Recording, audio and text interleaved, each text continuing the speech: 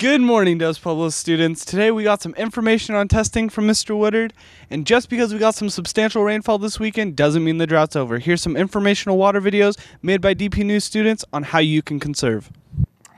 Hi DP, it's Mr. Woodard here, and I wanted to take a couple minutes to go over state testing for this year. As some of you know, there's been some changes, and we're kind of in a flux year cycle, so I wanted to make sure everybody knows what's going to be expected. So let's start with March 1st. Uh, in March, on April, uh, sorry, March 18th and 19th, all of our 10th graders will be taking the California High School exit exam for the first time, either in the gym or the cafeteria. And on those days, also all of our freshmen will be participating in the physical fitness test. More information will be coming in your PE classes or with your athletic coaches. Now in April is where a lot of changes take place. As you know, we're transitioning away from the old STAR system into what is going to be called the Smarter Balance system. So for this year, our 11th graders and our 9th graders have been asked to participate in a statewide field test of the new system. You'll be taking parts of the test, and this test is taken on the computer or the iPad with a keyboard.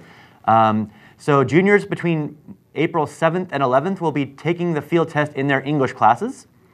And between April uh, 11th and 14th, the freshmen will, will be taking them in their English classes as well. So those are the field tests that are going to be coming up. As far as STAR, we're not going to have a schedule of two weeks this year where everything's a lot different.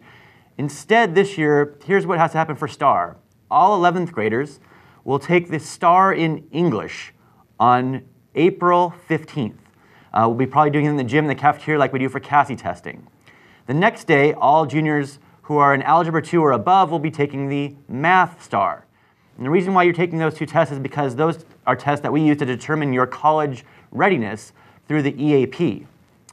All 10th graders will be taking only the life science test on April 15th. That's the only test you have to take this year is the life science test. And you'll be doing that in your science class, or if you don't have science this year, you'll be taking that uh, in the cafeteria.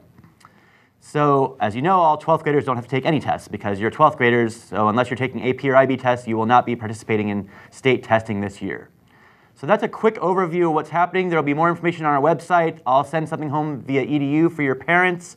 Uh, if you have any questions, you can let me know. But I want to just give you a heads up about these things that are coming up uh, so that you are better prepared for what's to come. Thank you.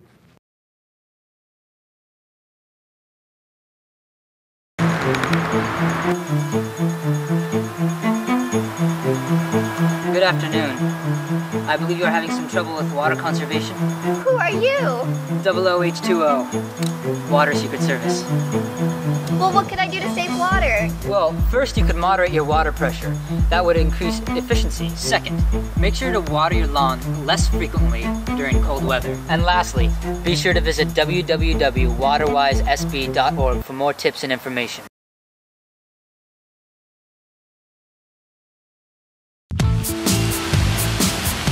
Hey there, my name's not important, but you know what is important? Saving water. Good old rain. It's been a while, hasn't it? Well, it's going to take you outside to show you how to test your irrigation system three to four times a year manually to reduce leaks, runoffs, and waste. This all seems redundant now, huh? Wrong.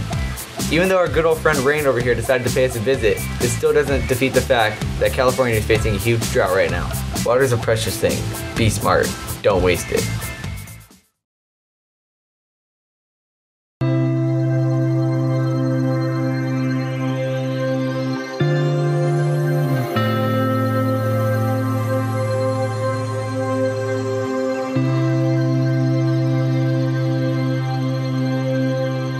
Power is in your hands to change our future. For further information on how to conserve water, please visit waterwisesb.org.